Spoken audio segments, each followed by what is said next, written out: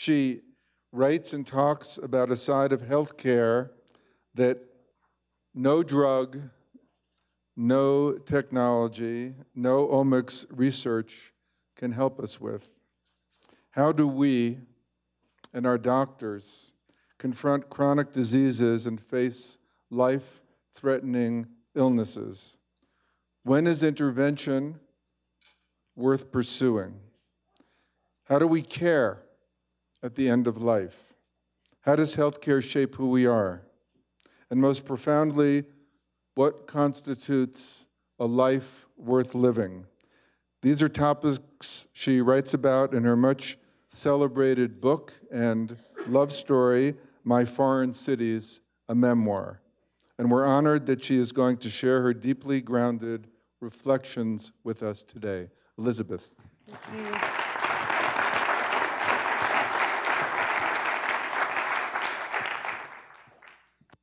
Uh, I'm really happy to be here today. Thank you, Larry, so much for inviting me, and all of you for sticking it out till the last session. If you need to get up and stretch, please feel free.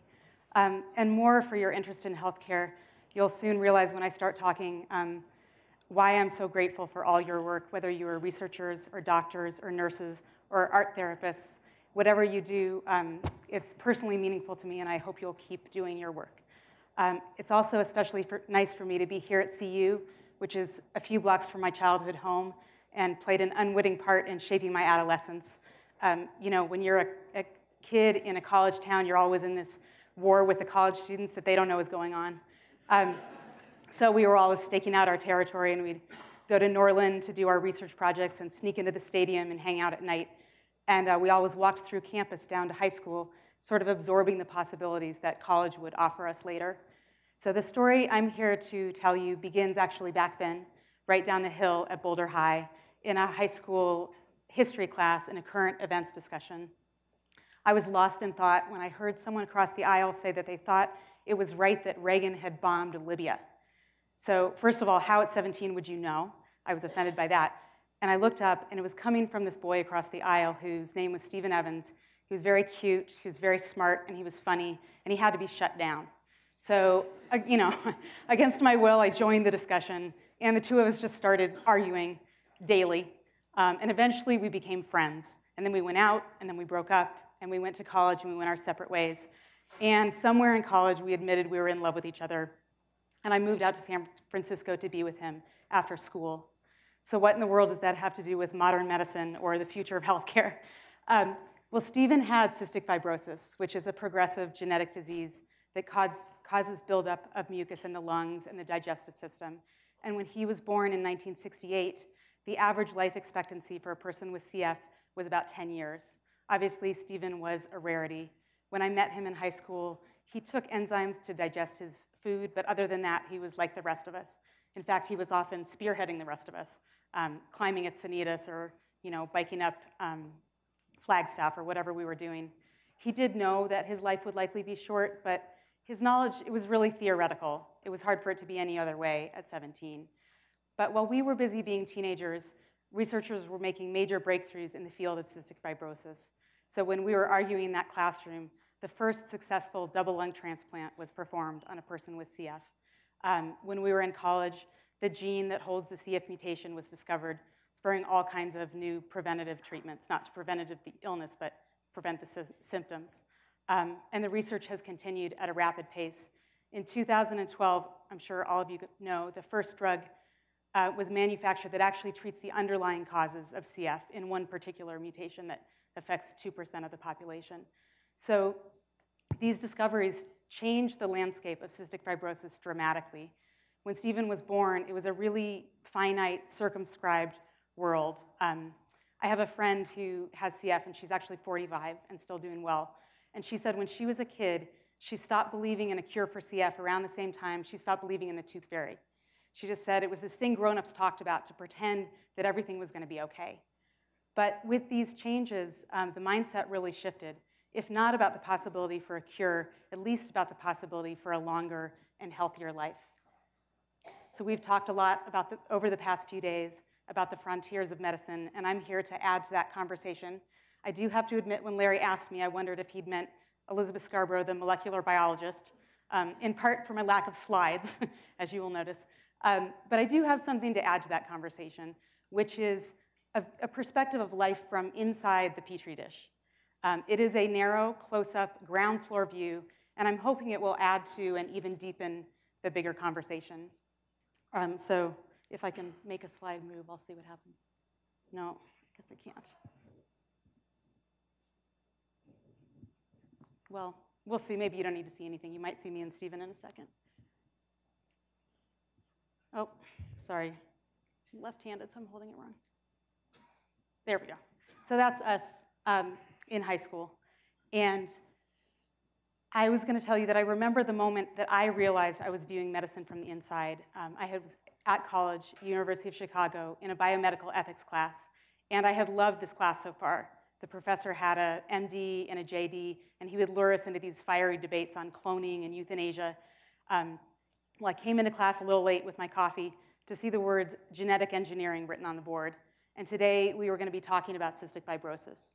And I sank low in my seat as my classmates started talking about you know, whether with people with CF should be born, whether it's good that they can't reproduce, whether we should really think about even spending money on the last years of their life because they're very expensive. So these are painful questions, but they're valid questions. And being on the receiving end of medical advances meant facing them. Questions that are theoretical for most people became for me and Stephen things you talk about over breakfast. You know, if you can't breathe, a lung transplant sounds incredible, but at what personal risk and cost? At what societal risk and cost? Who gets to have a transplant? Who's going to pay for the transplants? How do you create an ethical waiting list? Um, the advances in medicine are also more, more momentous and complicated, seen from the inside. If you take just the increase in life expectancy for someone with CF, um, when Stephen was alive, it seemed to inch up a year for his every year, which was super relaxing. Um, but it's now at 37 and a half, which sounds and is incredibly young. But inside that life, an extra year, an extra 365 days here on earth was momentum. I mean, we, we toasted each other every time that number went up. Advances also have complications and consequences that you don't expect.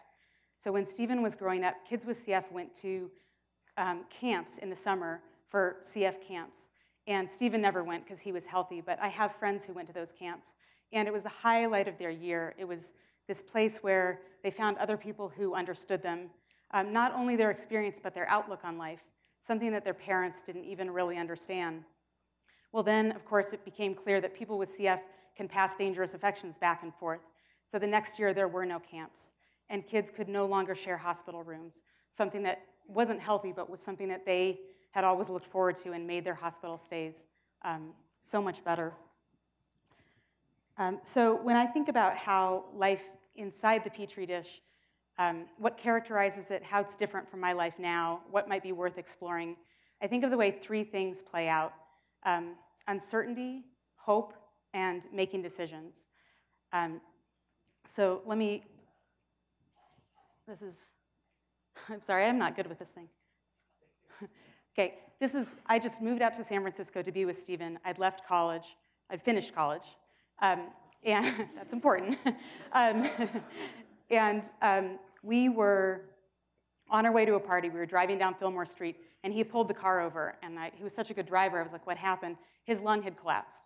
Um, and I was terrified. He was relaxed. He had had a lung collapse before. He was too relaxed, and I apologize if there are any pulmonologists in the office because he said, in the auditorium, because he said, um, you know, I think I'd like to go in tomorrow morning because the emergency room is packed on Saturday nights.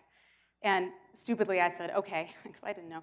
Um, so the next morning, I drove him over to the hospital, and um, you know, he got a chest tube in, and they said, okay, his lung's going to heal, and in about a week, you can come get him. So the day I was supposed to come get him, he called me, and he said, my lung collapsed again.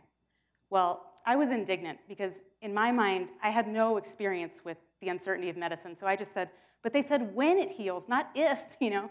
And he was like very impatient with that. And he said, they don't know exactly what they're doing. They're just trying to figure this out. So a week later, the lung was still not healing, and I was sitting in his hospital bed with him while his doctor, Dr. Stulbarg, was talking with us, and he said, you know, the lung's not healing. I think we're going to have to try something more. And I winced, and Stephen nodded. He loved Dr. Stulbarg. Um, he loved that he had been a philosophy major in college, and he admitted the complexity of all of this. Um, and in that moment, he was talking about a procedure called pleurodesis, which involves, which they don't do anymore, which involves injecting the lung with tetracycline so it scars to the point that it sticks to the lung, ch the chest cavity. So, um, you know, the results are good. The procedure sounded prehistoric. And I was like, that sounds really painful. And Dr. Stulbarg said, oh, it's going to be painful. Um, and I felt my own affection for him, the way that he looked me in the eye when he said this. And he said, but on the other hand, you know, the lung will not collapse again.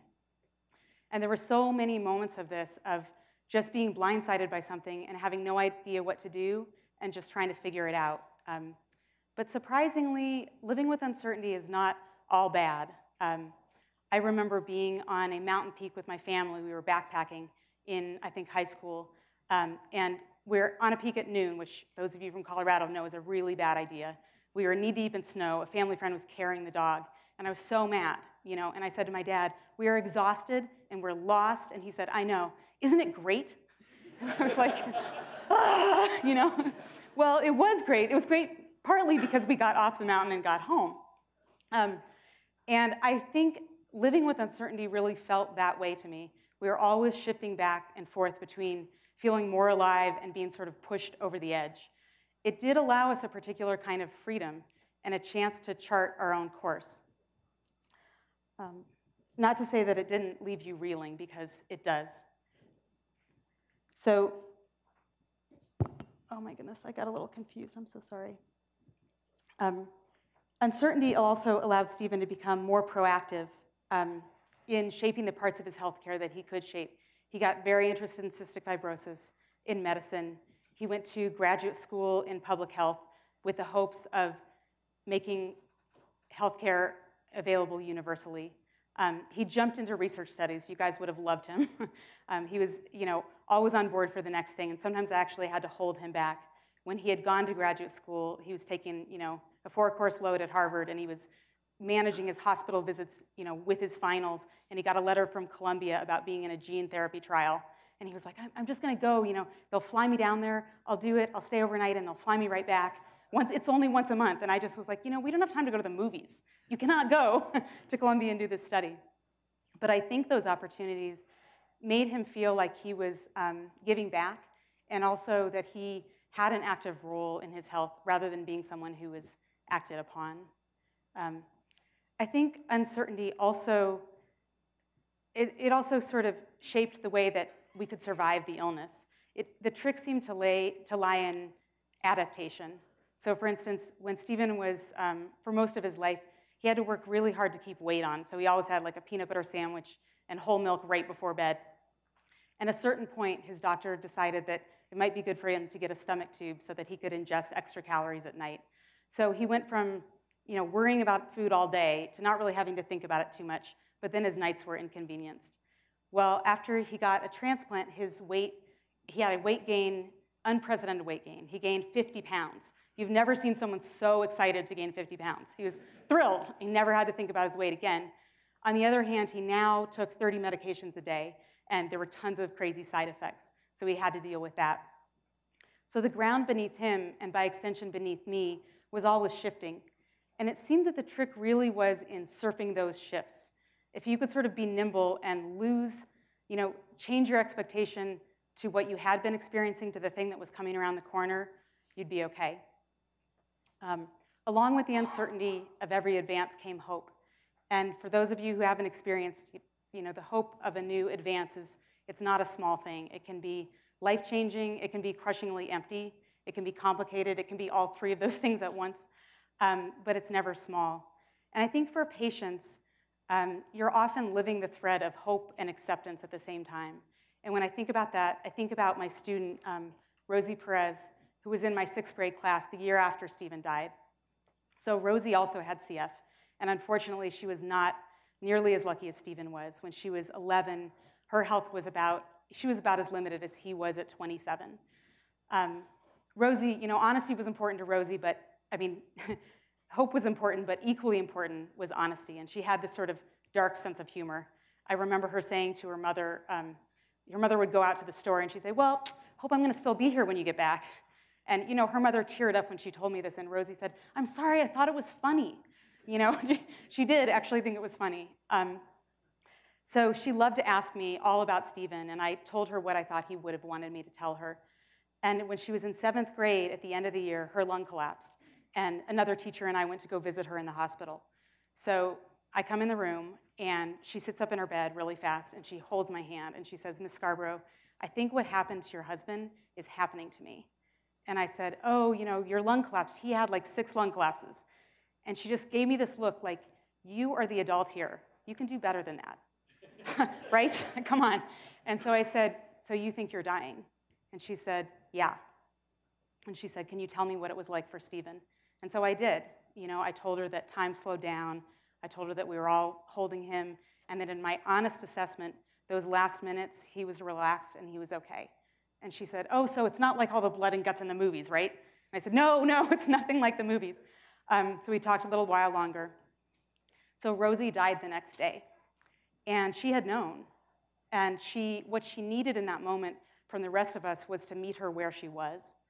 Um, and you know, all along, for a very long time, the hope that we all had for her had buoyed her up. But then she shifted, and she needed something else. So that shift is not easy for patients or loved ones, I can confess, um, or doctors. Right now, you know, there's a lot of talk and writing about how doctors and patients need to have these last, you know, these conversations about death and end of life. And I think that's true. But I also think it's difficult to instigate those conversations on both sides of that equation. Stephen and I were really lucky. Um, his doctor was very comfortable talking with us about um, the end of life and about mortality in general. I can remember him saying to Stephen, you know, okay, so you don't know how long you have. What do you want to do with the time that you have? And that allowed us to live more meaningfully. And it also, um, he would acknowledge what he couldn't control and what we couldn't control, and that gave us, in some ways, more control. Um, one of the funny things about living on the frontiers of modern medicine is while you do feel a profound lack of control, there seems also to be decisions to be made, like around every corner. And I got my first inkling of this with that lung collapse in San Francisco. You know, when I sat on the bed and I was just tired, and I was 21, and I just wanted Dr. Stulbarg to tell Stephen what to do. Um, of course, over time, I became grateful that he got to help chart his own, own course. Um, when we were in our early 20s, our life was pretty normal, and he, his health, you know, he had bouts of trouble, but for the most part was good. We worked and we went to school, we hung out with our friends. We got married when we were 25. These are my brief slides. Maybe hit it twice. That's us getting married um, up here at Gold Hill. And during those years, he made all of his own medical decisions. Um, I was barely informed, really. He was very proactive and on top of things. He was the kind of person who, you know, paid his bills on time and fixed loose doorknobs whenever he saw him. So I never thought about it much. Um, after we moved to Boston, pretty soon after we got married, his health started to decline, and it came more to the forefront of both of our lives, and we found ourselves making more decisions together. Um, when he was 27, his doctor in Boston suggested that he consider getting on the list for a double lung transplant. So this was 1996, and it sounded great in the sense that you know he was wearing oxygen at night, and it was hard to get around a few blocks, and it would be sort of a miracle. On the other hand, at that point, one in 10 people survived the surgery, and one in two people survived the first five years. So it was terrifying, and we talked about it endlessly. And we finally decided that it was terrifying, and yet it also felt right. Um, so we moved back to California for him to get on the transplant list, the timing of which is a decision in and of itself. You have to be sick enough to desperately need the transplant, but healthy enough to be able to sustain the new lungs once you get them. And I remember being in the transplant clinic um, when we were talking about this, and Dr. Golden said, you know, when do you want to get on the list? And Stephen looked at me, and he's, he just, Dr. Golden broke into this big smile, and he said, oh, young couples, still making your decisions together. You know, the couch, the car, the transplant. we were like, yeah, we are. um, and so we, Stephen got on the list, and this is us, maybe us in Hawaii, the week before he got on the list. So he got on the list, and two weeks later, we got a call at midnight. Um, he didn't even have, I know, he did not even have time to get a pager. It was, the wait list, the average wait list was a year. I think it was because he was a small person, but in any case. Um, he, we got a call at midnight, and I drove him across the Bay Bridge, You know, we called our families, and 24 hours later, he had new lungs. Um, it was incredible. The transplant went incredibly well. Um, it was not long before he could bike and hike and travel again. He went to work. You'd never seen someone so happy to go to work in your life. Um, he just got to be 28. And it was an incredible period of time. You know, the, the largest obstacle, which we had not foreseen, really was the side effects of the medications. Um, if any of you can invent something like prednisone without the side effects, you know, you've got it made. Um, they're pretty bad. But he, you know, he had sort of a mixed review. He couldn't, it was hard for him that he couldn't be on time to anything anymore, like his sense of time wasn't good. But on the other hand, ice cream tasted great for the first time in his life. Um, so we had a good couple of years. And then one Sunday morning, um, he woke up with a very high fever. And when you have a suppressed immune system, you have to call about that stuff right away. So we did, and he went over to the hospital, grumbling, of course, because it was a Sunday, and his real doctors wouldn't be there.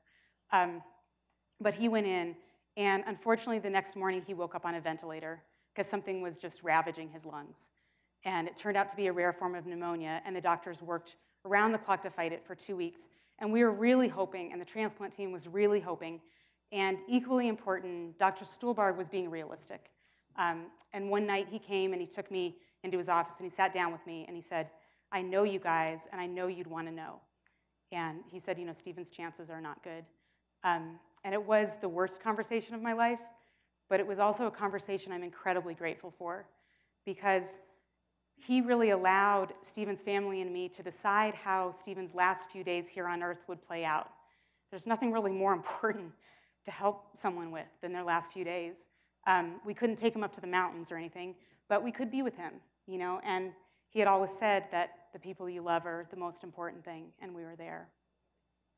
Um, so it turns out, you know, just because someone's no longer here doesn't mean you stop talking to them. Um, and after Stephen died and our lives kind of slowed down, my life kind of slowed down, I imagined myself talking to him about everything we'd been through and asking him, you know, do you think it was right? Like, was the transplant a good idea? And did you really want no machines in that last final moment? Um, and sometimes I would imagine him really weighing those possibilities. And sometimes I'd imagine him sort of impatient with the question.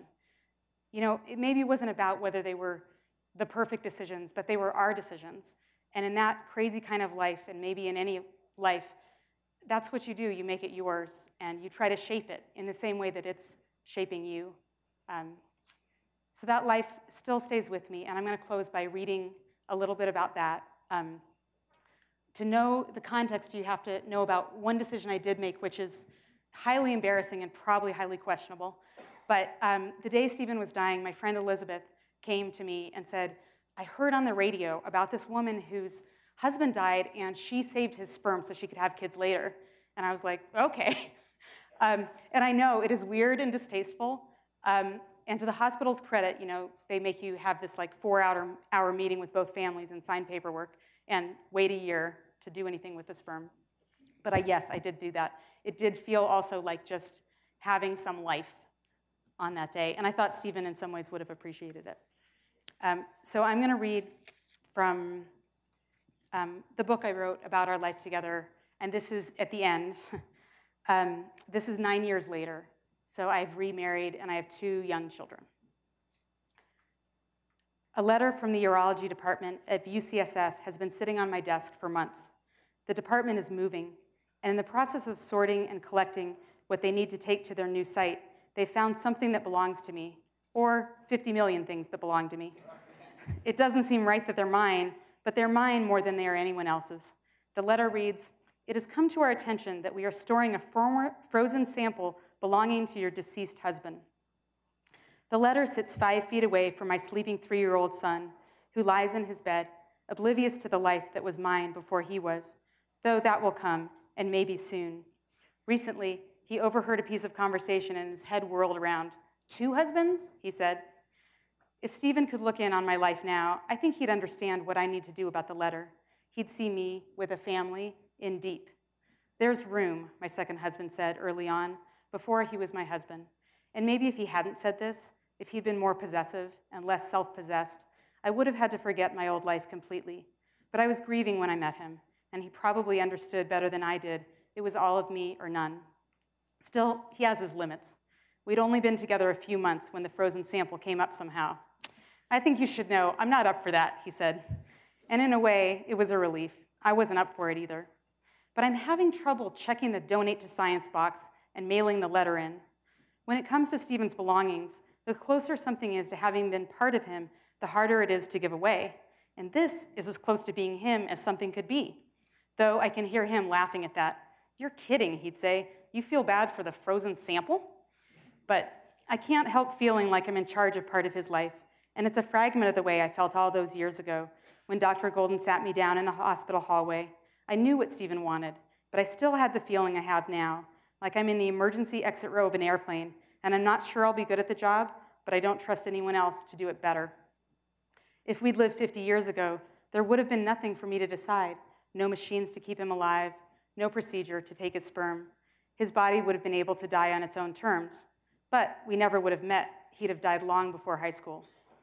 I watch my son sleeping, thinking about that between worlds place where I used to live and how far I am from it now.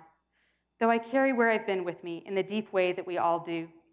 The fact that my kids play hospital when I needed to think of a fun, expansive game that could include, could include a one year old and a three year old, I didn't think restaurant or office or house. I can see doctor, a friend said, but hospital? The fact that I still can't convince myself that the future exists. I want it to, and I hope it does, but there's no part of my brain that feels comfortable thinking 20 years out. The fact that if my second husband, Cullen, is out late and I've expected him earlier, I don't imagine an accident or an affair the way most people might. My mind jumps past worry. It's all over. I love this person dearly, and now he's been taken away. Ironically, as soon as Stephen died, because he died, I understood him better. I feel now about the people I love the way Stephen felt then about me. My innocence about death is gone, and it's better than it sounds. I don't wake up at night trembling. I don't have interfering thoughts about disasters. Maybe I'm an optimist at heart. I'm an optimist who knows her days are numbered, who thinks of life as a sidewalk, that easy to step off of, that fast. I don't imagine the plane crashing when I fly, but I also don't imagine myself at 70 without inserting the words if or hope into the equation. But weirdly, it just doesn't bother me that much. In fact, if anything, I like it. I think about death and I feel deeply alive, and I must have inherited this from Stephen. The fact that I think of Stephen as having lived fully, even though I'm older now and should be able to see everything he didn't get to have. But the life felt full when it was happening, and it's still hard for me to think of it in any other way. It's hard to explain. It was difficult, but not lacking. I remember it as a great life, really, and no matter how much time I spend in a more normal existence, that doesn't seem to change. The fact that I can't just mail in this letter, it seems like there must be something better, more specific to do with the sperm than donated to science. I don't know what area of science the urology department has in mind. And it occurs to me that if the sample would be useful to anyone, it would be CF researchers. There may be researchers out there who want to examine sperm with DNA encoded for CF. And if so, they are hard pressed for material. Men with CF have no vas deferens, so the only way to extract their sperm is through aspiration, which involves a long needle to the testicles. It's hard to imagine anyone signing up for that study. So I call the CF clinic and I leave a message, letting them know that I have the sample and asking if they know of a research team who might want it. It is sort of a weird thing to do, but the doctors have known me for years over there. I'm not too embarrassed. Besides, the whole situation is weird. Stephen lived on the frontier of modern medicine, which is a weird place to live. And this is the kind of death that follows that kind of life messy and strange and terrible and lucky. Thank you.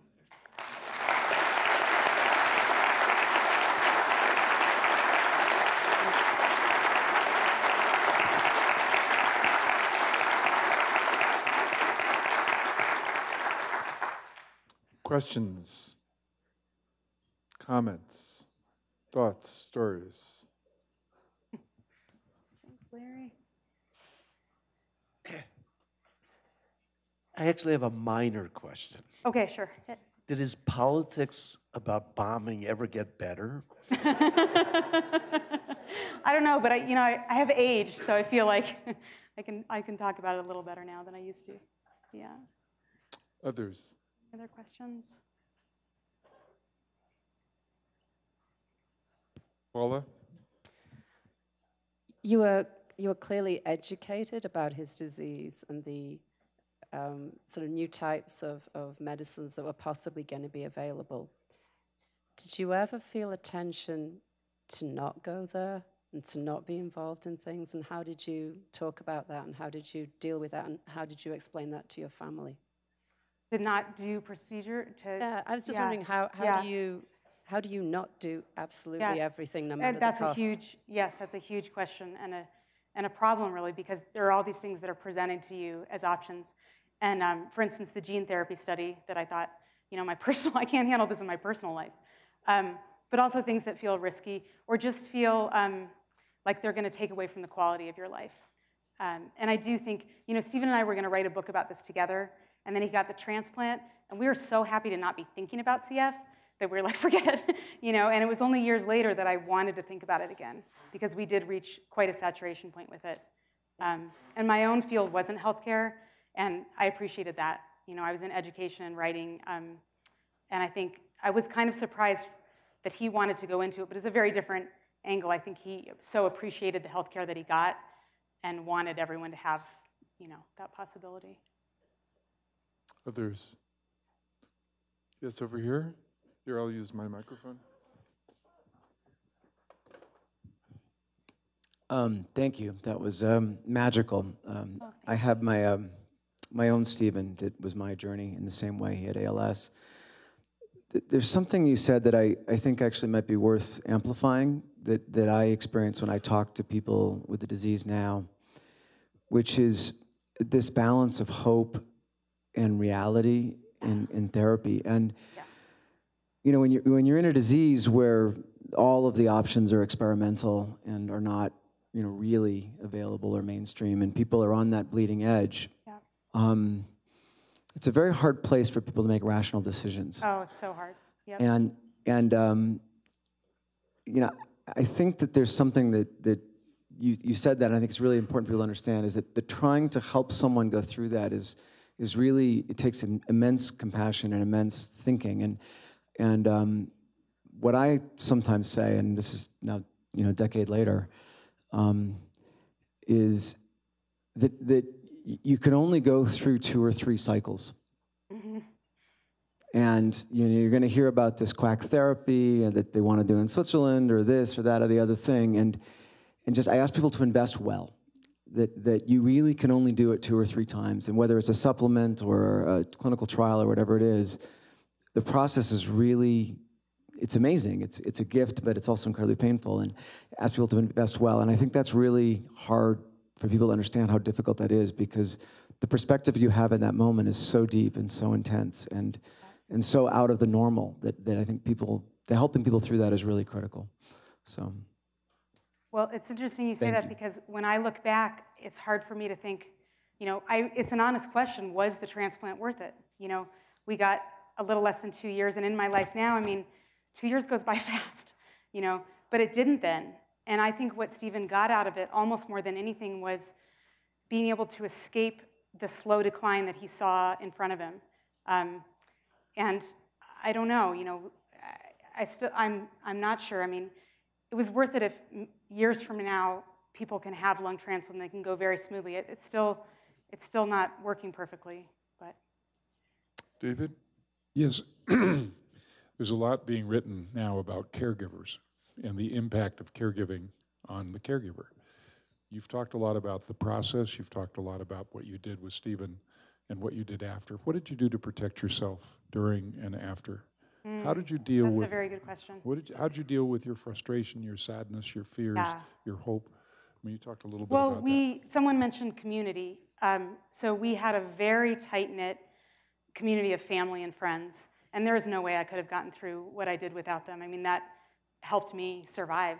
Um, having people that I loved and cared about me, and also being somewhat selfish. I mean, in a way, you know, being 21 and new to marriage, I was like, oh, I'm, you know, I'm gonna do my own thing. I'm gonna go to grad school. I'm gonna study something. I mean, I was very much, um, and Stephen supported that. So I think I did have my own vision and my own drive. Um, and I also think he was a very self-sufficient person, and so he didn't ask a lot of me in terms of, I mean, the role, of course, over time I had a huge role. But I remember the first time he went in the hospital, and I didn't know what to do. And I got there, I was like, should I not go to work today? And he said, why would you do that? like, I have to be here. You don't have to be here. Go, like, go be in the world and enjoy yourself, you know? And that was really his attitude. Um, and over time, I had more of that attitude myself. I mean, you, he went through so many different procedures and so many hospitalizations that we just had to go about it as if that was normal life. And I would only worry, I only didn't work when he was in the ICU. Because if he was in the regular hospital, uh, it was just like life, you know. I went to work and I remember getting to the hospital and the nurse, you know, just the nurses would be like, well, you look pretty good. And I was like, oh yeah, I just went for a run. And they'd kind of give me this look like, well, you know, you went for a run, your husband's in the hospital. It's like, damn right I went for a run, you know. Um, you need to, you need to. You have to take care of yourself. Others? Yes, please. We'll have a microphone in a second. Thank you for uh, sharing uh, what you have told us and the slides also. It's really wonderful to place Oh, it in, in okay. context. Um, I have a question for you with regards to the realization that you're not indestructible gives time a very different meaning. Say that last Gives time a very different meaning, the preciousness of Yeah. what you can do. Yeah. How was that for you? How was that for Stephen? Because you had different time. Yes. Well, we were very different because I was young with the vantage point of a young person, you know, and he was, um, he always had his mortality up close. Um, you know, I remember one time when we were 23 or 24, he said to me, you know, well, in the end, the people that you love are the most important thing. And I was in grad school thinking about educational policy, and I was like, gosh, well, maybe you just haven't had a job that you really loved. And he just said, Ugh, you know, when you're 70, you'll get it. um, and there was that reality difference for us, you know, and we did have to bridge that difference between us. Um, I think being with him, the preciousness of time was contagious. Uh, so I think I did absorb a lot of that, and I still, that stays with me. You know, um, I look at my kids, and, and I mean, not to say they don't drive me crazy, because they're kids, and they do. Um, likewise, my husband, you know, but I have a feeling about them that is like, ooh, I want this time with you. You know, I don't know how much time we're going to get. Um, and that's just kind of part of me now, I guess. Yeah. You have time for one more? Yes, Clarissa in the back. No, no. Um, so not, thank you so much for sharing that. I've been sitting here just crying the entire time. Oh, no. So it's, no, I think it's a good thing. So thank you. Um, I just wanted you, if you're willing, to speak to how you fell in love again. Oh, sure, yeah. Um, I can speak to that if you want. Um, it was on a soccer field. uh, and um, it was much sooner than I would have predicted after Stephen died. It was about a year after he died. Um, which, you know, for some reason in my head, I had seven years because they tell you, like, it'll take you seven years to get through a death. So I thought, well, you know, I'm not even going to date for seven years. Um, I was 30, and uh, or 29 when he died, and I met my brother had moved out to Berkeley to help me talk about community. He moved in my house, helped me with the dogs, like took care of me basically while I worked. And um, so we were playing pickup soccer, and I said to my brother, like, there was something really weird about that guy in the field. My brother was like, yeah, it's called being attracted to someone. and he was like, has it really been that long? And I was like, no, I mean, not like that, like really weird, you know? And he was like, okay, it's called being attracted to someone and having the possibility that it could actually go somewhere. And um, I was shocked, you know, it was like, uh, it was really terrifying for me. Um, but, you know, we started going out and we went out, and after having fallen in love the first time, I just knew pretty soon. Um, I mean, it, you know, it, we didn't get married for another couple years, but, um, and my second husband, he was, so you don't stop grieving at a year out. You know, I was still deep in the throes of grief, and um, he was, and is just a wonderful person. He would hate hearing that because he really gets annoyed when people ask, like, how do, you know, how do you do this, like, with her? He's like, I just love you, and, you know, he died, and I'm here, and it's not, it's pretty, he's very pragmatic um, as well. But, um, yeah, it just, it happened uh, pretty quickly, and there was a lot that I processed through that, um, being with him. And, and now, you know, Stephen is still part of my life, and he's part of my kids' lives. We're still close to his family. Um, we still spend time with them, and um, my new husband is close to his family, so I've had the luck of a bunch of people who are willing to be connected. Elizabeth, thank you so much. Thank you so much.